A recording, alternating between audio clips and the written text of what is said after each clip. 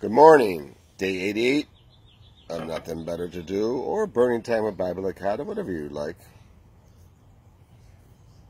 Uh, smoking a diesel. It was given to me from Bob and Barry, Virgil Evans Tobacconist, where the city smokes.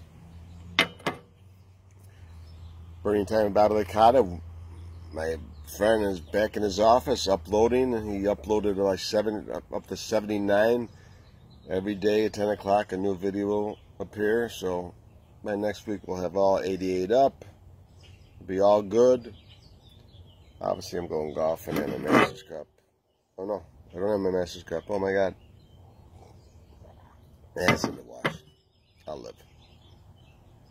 Um, so subscribe. Subscribe to YouTube. Burn Time Bob Licata. Bing. Easy. Free. Well Today's special day, June 18th. Two years ago today, my friend Tony Colicchia left this earth. Think about him every day. Uh, I don't know why. Think about him every day. I laugh. He was a funny guy. He was a smart guy. He was a generous guy. He was a good friend, loyal, trustworthy, little nuts. His favorite word was fuck he was very smart guy. I mean, this guy could have been anything he wanted. Anything. But he knew how to make money. And I mean, even when he told me he was sick and he kept me in secrecy, and you know, it was really hard because some close friends would ask me, and I, I couldn't, I couldn't betray his trust. So I would just say, I see I have some issues, you know, like I couldn't betray his trust. So, you know, so many good memories, though. Good memories, funny memories. You know, New York City, where the Yankee game. We go to Peter Luger's for dinner.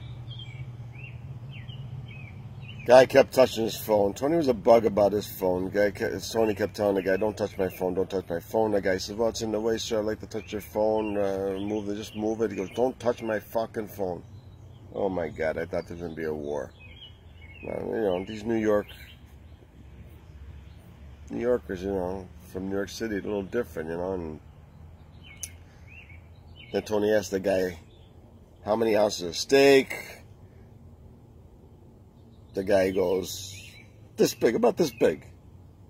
I mean, it was bizarre. It was funny. Wherever city we went to, and we went to every city. I mean, different country. He had to try it. He had to find out who had the best pizza, and he had to try it. Then, if he liked the pizza, he'd ask for the owner, and I would have to let sit there for a half hour to an hour, them talking about pizza. Well, whatever. It is what it is. But we had great times and we're at a Yankee game in Cleveland. I see Jon Bon Jovi walking. I say, hey, I want to say hello to Jon Bon Jovi. Right away, fuck him. Because he was trying to buy the Bills then. I to say hello to the guy. Was, he was right there. I say, so anyways, Tony goes, oh my God, we got to go back in the bar. I go, why? I can't find my phone.